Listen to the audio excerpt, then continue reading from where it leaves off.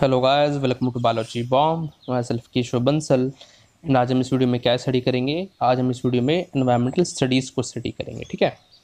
या फिर क्या एनवायरमेंटल साइंस को स्टडी कर रहे हैं? तो इस वीडियो में हमने क्या स्टडी करना है स्पेसिफिकली एक तो एनवायरमेंट होता क्या है? वट इज़ एनवायरमेंट ठीक है? फिर हम देखेंगे multi disciplinary nature of environmental science ठीक है? कि किस तरीके से एनवायरमेंटल साइंस जस्ट एक स्पेसिफिक एक आइसोलेटेड साइंटिफिक डिसिप्लिन नहीं है कि इसके अंदर किस तरीके से और भी साइंटिफिक डिसिप्लिन यूज़ हो रहे हैं। ठीक है earth sciences chemical sciences life sciences social sciences किस तरीके से उनका सब भी मिक्सचर है। उन सब जो साइंटिफिक डिसिप्लिन उनकी नॉलेज इसमें कंबाइन की जा रही है। ठीक है? फिर हम देखेंगे कि एनवायरनमेंट के कंपोनेंट्स क्या हैं, क्या कंपोनेंट्स हैं, क्या टाइप्स होते हैं। फिर हम देखेंगे कि इसकी इंपॉर्टेंस क्या है, जो हम एनवायरमेंटल स्टडीज़ पढ़ रहे हैं। ठीक है, इसकी इंपॉर्टेंस क्या क्या स्कोप है। क्यों ये हम पढ़ रहे हैं? ठीक है? किन चीज़ों से डील करते किन प्रॉब्लम से? फिर हम लास्ट में देखेंगे कि सस्टेनेबिलिटी का कंसेप्ट क्या होता है सस्टेनेबिलिटी सस्टेनेबल डेवलपमेंट। ठीक है जी? सो so, स्टार्ट करते हैं। तो सबसे पहले हम देखते हैं एनवायरनमेंट है क्या। तो एनवायरनमेंट जो है एक सिस्टम है। इन्वायरमेंट इज़ अ सिस्टम एक बड़ा सिस्टम है जिसके अंदर physical chemical biological social and cultural elements ठीक है? ये सारे क्या इंटरलिंक्ड हैं। समझ रहे हो? ये एक इन्वायरमेंट है, क्योंकि हम जब एनवायरमेंट देखते हम कहते हैं हमारा एनवायरमेंट तो एनवायरमेंट में क्या आता है जो भी एबायोटिक कंपोनेंट्स और जो भी बायोटिक कंपोनेंट्स हैं। ठीक है? ये एक दूसरे के साथ इंटरलिंक्ड है, जुड़े हुए इंट्रैक्ट कर रहे हैं। ठीक है? यही एनवायरमेंट होता है। क्लियर फिर हम देखते हैं multi discipline nature of environmental science तो जैसे हमने भी ऊपर डेफिनेशन में भी देखा कि जिस तरह से हमने एनवायरमेंट को डिफाइन किया बिकॉज़ एनवायरमेंटल साइंस में हम क्या स्टडी करेंगे? हम एनवायरमेंट को स्टडी करेंगे, है ना? तो और एनवायरमेंट क्या होता है? एनवायरमेंट एक सिस्टम है जिसके अंदर different physical chemical biological social culture ये सारे एलिमेंट्स जो हैं, ठीक है, ये सब इंटरलिंक एक दूसरे से जुड़े हुए हैं, ठीक है? तो ऑब्वियसली बात है कि ये जो सारे आस्पेक्ट हैं लाइफ के, ठीक है? फ़िज़िकल साइंसेज हो गए लाइफ साइंसेज है और साइंसेज सोशल साइंसेज ठीक है? ये सब चीज़ें इसके अंदर यूज़ होंगी क्योंकि तो जब ये इन सबसे डील कर रही है क्लियर तो इसी वजह से जो इन्वायरमेंटल साइंस है ये मल्टी डिसिप्लिनरी नेचर की है। क्योंकि जब हम एक बड़ी यूनिट को हम पूरे होल सिस्टम को स्टडी कर रहे हैं एनवायरमेंट को तो उसके अंदर सभी आ गए। ठीक है? ये बायोटेक और बायोटेक कंपोनेंट्स और भी जो साथ में सोशल कंपोनेंट्स भी हुए। ठीक है? तो फिर देखते हैं कि आ, क्या क्या ब्रांचेज हैं थोड़ा सा एग्जांपल ले लेते हैं जैसे अर्थ साइंसेज में मीटर मीटीरियोलॉजी हो गया, ठीक है? एटमोस्फेरिक केमिस्ट्री हाइड्रोलॉजी और भी बहुत सारे हैं जियोलॉजी ये हमने कुछ एग्जांपल्स लिए हैं। लाइफ साइंस में biology aquatic ecology social sciences में terrestrial ecology social sociology population dynamics geographic sector तो मतलब सर्टेन साइंटिफिक डिसिप्लिन है, जो उन्होंने बताया कि किस किस किस तरीके से ये सारी जो ब्रांचेज साइंस की एक दूसरे के साथ इंट्रैक्ट करती है। बिकॉज़ हम बहुत बड़े सिस्टम की स्टडी करें एनवायरनमेंट की, ठीक है जी? फिर हम बात करते हैं कि ये जो एनवायरनमेंट है, इसके क्या क्या कंपोनेंट्स हैं तो वही सेम बात, ठीक है? हमने ऊपर भी पढ़ा कि इसमें क्या चीज़ इंट्रैक्ट कर रही है। तो फ़िज़िकल एनवायरनमेंट है तो ए बायोटिक नॉन लिविंग है, और साथ में फिर बायोटिक है, जो लिविंग ऑर्गेनिज्म है, ठीक है? और इसमें ही कहीं ना कहीं सोशल और कल्चरल एलिमेंट्स भी आते हैं, ठीक है? तो बायोटिक में दोनों आ गए आपके फ्लोरा फोना प्लांट्स एनिमल्स फिर आता है एनर्जी कंपोनेंट जो सारी soil energy geo chemical energy nuclear nuclear atomic energy etcetera और भी जो सारी एनर्जी हैं, ये सब भी किसका हिस्सा है? एनवायरनमेंट का हिस्सा है। फिर हम बात करते हैं कि एनवायरनमेंट के टाइप्स क्या हैं। ठीक है, अब ये टाइप्स जो है ना एनवायरनमेंट की डिफरेंट बेसिस पर क्लासिफिकेशन किया जा सकता है। हमने यहाँ पर किस बेसिस पर किया उसके ओरिजिन के। कि अगर वो नेचुरल हैं, यानी उसमें मैन का कोई रोल नहीं है, ठीक है? तो जैसे air water soil land flora even हम भी जो फोना हुआ, ठीक है फ्लोरा फोना तो जो सारी, जो लिविंग ऑर्गेनिज्म है भी नेचुरली राइज किया। उसमें कोई, उसमें मैन का हाथ नहीं है, ठीक है। फिर है, ऐसे एनवायरनमेंट जो आर्टिफिशियली क्रिएट किए गए टेक्नोलॉजी ट्रांसपोर्टेशन हाउसिंग इंडस्ट्रीज़ ये मैन के द्वारा क्रिएट की गई है, ठीक है। इनके ओरिजिन में मैन का हाथ था। अब हम देखते हैं कि इन्वायरमेंटल साइंस होती क्या है। हमने हमें ऑलरेडी पता है कुछ बातें कि ये मल्टा डिसिप्लिनरी नेचर है इसका, ठीक है? तो यहाँ पर हम क्या करते हैं, जब साइंस साइंस सिस्टमेटिकली स्टडी करेंगे हम, किस चीज़ की स्टडी कर रहे हैं? हमारा इसका मकसद क्या है वो बता रहा हूँ मैं, कि हम ह्यूमन इंट्रैक्शन की स्टडी कर रहे हैं एनवायरनमेंट के साथ, ठीक है? क्यों कर रहे हैं हम ऐसा? कि ताकि जो एनवायरमेंटल प्रॉब्लम्स अराइज हो रही हैं, हम उन्हें टैकल कर सकें, हम उन्हें सॉल्व कर सकें। और यही एक एक रीज़न है जो हम एनवायरमेंटल साइंस आज यहाँ बैठ पढ़ रहे हैं। ठीक है? ये जनरली सब कोर्सेज में ऐड किया जाता है इसलिए क्योंकि ताकि लोगों को हम अवेयरनेस करा सकें अवेयर करा सकें अपने एनवायरनमेंट के, अपने सराउंडिंग्स के बारे में, ठीक है? वह हम देखें कि क्या क्या प्रॉब्लम्स हैं। तो ये उसका स्कोप बताया है कि क्या हम अचीव करना चाहते हैं ये एनवायरमेंटल साइंस पढ़ के, ठीक है? कि हम अवेयरनेस क्रिएट करना चाहते हैं, हम लोग के अंदर सेंसिटिविटी क्रिएट करना चाहते हैं कि एनवायरनमेंट के लिए और जो उससे रिलेटेड प्रॉब्लम्स हमने क्रिएट किए हैं, ठीक है? हम लोग को मोटिवेट करना चाहते हैं ताकि लोग पार्टिसिपेट करें, ताकि लोग एनवायरनमेंट को प्रोटेक्ट करें, ठीक है, और उसे और बेहतर बना सकें, ठीक है? लोग स्किल्स को डेवलप करवाना है ताकि वे उन प्रॉब्लम्स को आइडेंटिफाई कर सकें और आइडेंटिफाई करने के बाद उनके लिए सोल्यूशंस को ढूंढ सकें, ठीक है? उनके लिए सोल्यूशन को डेवलप कर सकें। और साथ में अब जैसे कहते हैं कि necessity is the mother of all invention कि जब ज़रूरत होती है इंसान तभी सोल्यूशंस खोजता है तो लोगों के अंदर इस चीज़ की नेसेसिटी क्रिएट करना कि उन्हें बताना कि क्यों ज़रूरी है कि हम अपने नेचुरल रिसोर्स को कंजर्व करें। अल्टीमेटली वरना क्या होगा? एक्सटिंक्शन हो जाएगा लाइफ का। और वही हमारा नेक्स्ट टॉपिक है कि हम पब्लिक को अवेयर क्यों करा रहे हैं। ठीक है? क्योंकि एनवायरनमेंट क्या कर रहा है? ये एनवायरनमेंट डिग्रेड कर रहा है। तो अगर एनवायरनमेंट इस तरह डिग्रेड करता गया और क्विक एक्शंस नहीं लिए गए कि कोई रिफॉर्मेटिव एक्शंस नहीं लिए गए तो क्या होगा? एक्सटिंक्शन हो जाएगा लाइफ का अर्थ पर। ठीक है? तो इसलिए हमें लोगों को अवेयर कराना है ताकि वो अपना बिहेवियर में कैसे चेंजेस लाएँ इको फ्रेंडली चेंजेस लाएँ। फिर हम बात करते हैं कि अब हम कह रहे हैं भाई चैलेंजेस को टैकल करें चैलेंजेस को टैकल करें चैलेंजेस हैं क्या? ठीक है? सबसे पहले हम देखते हैं चैलेंजेस को, जैसे ग्रोइंग पॉपुलेशन अब ग्रोइंग पॉपुलेशन एक बहुत मेजर प्रॉब्लम है बिकॉज़ जैसे जैसे लोग बढ़ेंगे, ठीक है तो रिसोर्सेज लिमिट हो जाएँगी। पहले पाँच एप्पल थे, पाँच एप्पल जो थे वो पाँच लोगों में बढ़ जा रहे थे, पाँच लोग पूरे सेटिस्फाई ठीक है? अब वो रिसोर्सेज तो पाँच ही हैं, लोग दस हो गए तो अब ना सेटिस्फेक्शन होगा। और फॉर एग्ज़ाम्पल अगर पाँच थे और चार लोग थे, ठीक है, पाँच रिसोर्सेज थी और चार, ये मैं एनोलॉजी लेके बता रहा हूँ चार लोग थे तो अब भी रिसोर्सेज बच जा रही हैं, ठीक है?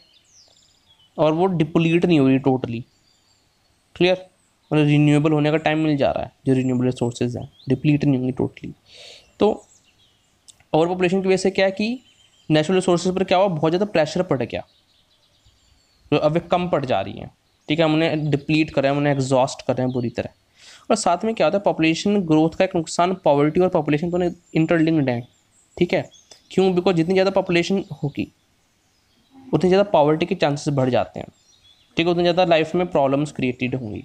फॉर एग्जांपल लेट ये एक फादर है ये एक मदर है ठीक है इनके दो बच्चे अब जब ये रिसोर्सेज प्रोवाइड करा रहे हैं अपने बच्चों को ठीक है तो ये एक better standard standard of life जी पाएँगे ठीक है और इनके जो बच्चे हैं वो भी एक स्टैंडर्ड अच्छा स्टैंडर्ड लाइफ का जी पाएँगे। बट अगर ये बच्चे तीन हुए चार हुए पाँच हुए मतलब अगर ये हम नंबर इंक्रीज़ करते हैं मान लो हम ये इसमें भी परेशान है किस तरह दो दो को एजुकेट करने में भी ठीक है अप, अपनी फैमिली चलाने में भी। तो उससे क्या होगा कि अगर अगर हम इस कंडीशंस को हम और बढ़ा देंगे, हम पॉपुलेशन को और बढ़ा देंगे, अब वो दो बच्चे को जगह पाँच बच्चे हो गए तो अब क्या होगा कि अब ये पावर्टी में जिएँगे। ठीक है रिसोर्सेज ये मीट नहीं कर पाएँगे नीड्स मीट नहीं कर पाएँगे। ठीक है, और जो फ्यूचर है, ये पाँच बच्चे हैं, इनका फ्यूचर भी ख़राब हो जाएगा। तो इससे भी क्या प्रॉब्लम क्रिएट होती है कि अब फॉर एग्ज़ाम्पल ठीक है, और ये सच बात है, ठीक है, एक बिहेवियर की बात है कि अब अगर किसी इंसान की अगर हम बेसिक नेसेसिटी फ़ूड शेल्टर और क्लोथिंग मीट नहीं करते हैं तो उसे कोई फ़र्क नहीं पड़ता कि एनवायरनमेंट कैसा है। ठीक है एनवायरनमेंट फ्रेंडली एक्ट ले रहा है, नहीं ले रहा है। उनके लिए ग्लोबल कंसर्न की कोई महत्व नहीं होती। आप किसी गरीब को जाके बताओ, तुम ये काम ना करो, ये एनवायरनमेंट को हार्म कर रहा है। वो कहेगा, पैसे ला। ला मेरे को पैसे दे। ठीक है, वो ये कहेंगे। बिकॉज़ ऑब्वियस सी बात है कि कहीं ना ये अगर बेसिक नेसेसिटी हम लाइफ की नी मीट नहीं कर रहे तो कहीं ना कहीं वो एनिमल बिहेवियर बहुत स्ट्रांग रहता है कि सबसे पहले तो हम, हमें बेसिक नेसेसिटी चाहिए लाइफ की, कुछ कुछ भी किसी भी तरीके से। कहीं ना कहीं अगर ये बेसिक नेसेसिटी लाइफ की पूरी हो जाती है, तब इंसान थोड़ा सभ्य हो जाता है तो सोचते कि नहीं यार, चलो, मेरा काम तो बन रहा है, अब मुझे इतना करना है कि नहीं हाँ मैं अच्छाई की तरफ़ भी फोकस करूँ। सर क्या मैं इको फ्रेंडली करूँ कि और भी अपनी डिमांड्स मीट कर पाएँ।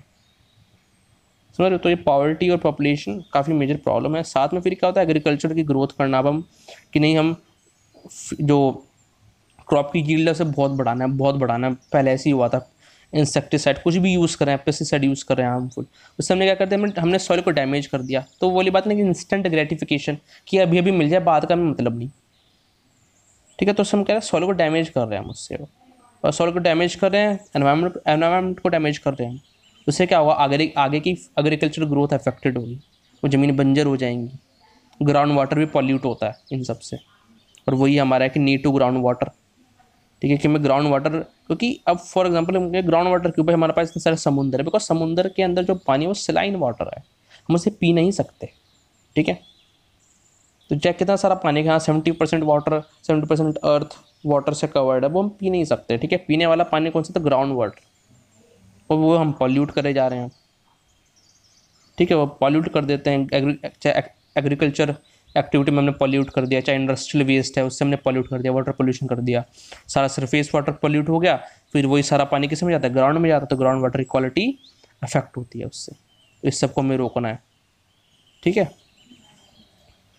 फॉरेस्ट अब हम डेवलपमेंट के चक्कर में फॉरेस्ट को ख़त्म कर रहे हैं। ठीक है फॉरेस्ट जितने पहले थे, हमेशा उसे डिक्रीज होते जा रहे हैं लगातार, और वो रेट कहना कि बढ़ ही रहा है।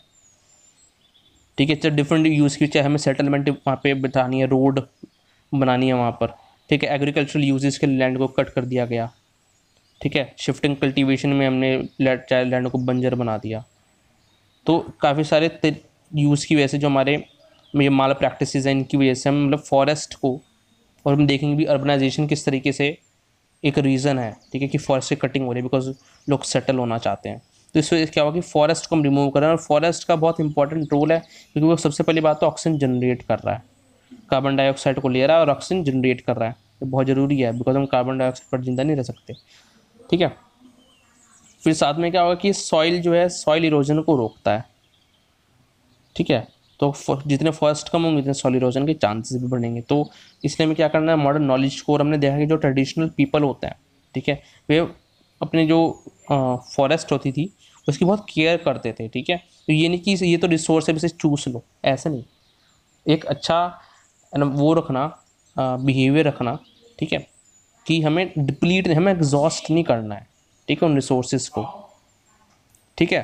फिर हम बात करते हैं डिग्रेडेशन ऑफ़ लैंड की। तो डिग्रेडेशन ऑफ़ लैंड की अगर हम बात करते हैं तो हम कहते हैं कि हमने लैंड को डिग्रेड नहीं करना है बिकॉज़ उससे क्या होता है सॉल्ट डिग्रेडेशन हो रहा है। और सॉल्ट डिग्रेडेशन हम काफ़ी तरीक़ों से कर रहे हैं। ठीक है, हमने चाहे शिफ्टिंग कल्टीवेशन कर दिया, हमने चाहे ओवर ग्रेजिंग करा दी लाइफ स्टॉक से वाटर एंड विंड इरोजन हो गया। तो उस वजह से क्या होगा सॉल्ट डिग्रेड कर गया, और हमें इस चीज़ को रोकना है। ठीक है? हमें इस चीज़ को रोकना है। फिर हम बात करते हैं रीओरिएंटेशन ऑफ़ इंस्टीट्यूशंस जो सारे इंस्टीट्यूशंस हैं हम, और हम ये जो पढ़ भी रहे हैं ठीक है? कि इंस्टीट्यूशन में क्या दी जाती है? एजुकेशन दी जाती है। इंस्टीट्यूशन इंस्टीट्यूशंस के अंदर जो बच्चे पढ़ रहे हैं, जो लोग पढ़ रहे हैं, उन्हें एटीट्यूड सिखाया जाता है। अब यही रीज़न हम एनवायरमेंटल साइंस को पढ़ रहे हैं। क्यों? अवेयरनेस क्रिएट करने के लिए, ताकि हमारे जो, हमारा जो बिहेवियर है टुवार्ड्स नेचर टुवार्ड्स एनवायरनमेंट ठीक है टुवार्ड्स टेक्नोलॉजी की, वो एक इको फ्रेंडली बने। ठीक है? यानी कि हम चूज़ डालें उस चीज़ को कि हाँ भी साथ एनवायरनमेंट हमें हेल्प कर रहा है ना, कि किसने उंगली पकड़वाई कि हाँ भाई चलो साथ में, यानी उसके कंधे पर बैठ के उसे गिरा देना। नहीं, ठीक है? तो क्या अवेयरनेस क्रिएट करना तो ये भी ज़रूरी है कि हम इंस्टीट्यूशंस का रीओरिएंटेशन करें, वहाँ पर ये एजुकेशन प्रोवाइड करें। ये क्यों बहुत ज़रूरी है? फिर हम बात करते हैं रिडक्शन ऑफ़ जेनेटिक डाइवर्सिटी भी एक नुकसान है। अब क्या होगा कि हमने ऑब्वियसली बात है काफ़ी सारे प्रोटेक्टेड एरिया से फॉर्म कर दिए। Sanctuaries national parks biosphere reserves isolation कर दिया किसका पॉपुलेशन का? प्रोटेक्ट कर रहे हैं हमने, ठीक है? ताकि नेशनल इन्वायरमेंट में पॉपुलेशन कम हो रही है एटलीस्ट यहाँ पर इनका इनके जीन्स ज़िंदा रहे इनके जीन्स रहें नेचर से एक्सटिंक्ट ना हो जाए। लेकिन इससे क्या होता है कि डाइवर्सिटी रिड्यूस होते हैं बिकॉज़ जब हम कंट्रोल्ड ब्रीडिंग कराएँगे तो तो कंट्रोल्ड ब्रीडिंग कराने की वजह से लेट ए ग्रुप था तो ए में ही कर तो जीन्स सिमिलर है कंट्रोल्ड ब्रीडिंग करा रहे हैं। बट अगर ये नेचुरल में होता, शायद ये बी से भी इंट्रैक्ट करता रिप्रोड्यूस करता और क्या पता कुछ और म्यूटेशंस निकल कर आते। ठीक है? म्यूटेशन डाइवर्सिटी कॉज करेंगे। ठीक है? वेरिएशन कॉज करेंगे। और यही वेरिएशन जब ऐड होते रहते हैं तो कहीं ना कहीं डिफरेंट स्पीशीज़ बन जाती हैं। तो ये क्या रिडक्शन भी हो रहा है? जेनेटिक डाइवर्सिटी का ये एक प्रॉब्लम है। फिर साथ में क्या है? Evolution of evolu sorry evil consequences of urbanization जो मैंने बताया था कि ये अर्बनाइजेशन है। ठीक है? हम अर्बन हो रहे हैं। हम पढ़े लिखे हो रहे हैं। इंडस्ट्रियलाइजेशन ये सब चीज़ें आ रही हैं। जब मॉडर्नाइजेशन आ रहा है। तो इसकी वजह से काफ़ी सारी चीज़ें अराइज हुई।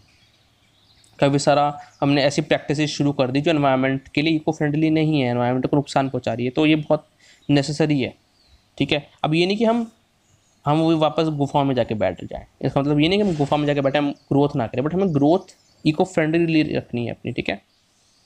अर्बनाइजेशन के साथ कोप अप करना कि हम अपना, हम अर्ब मॉडर्न भी बनेंगे, ठीक है? हम टेक्नोलॉजी यूज़ करेंगे बट तरीके से। ठीक है?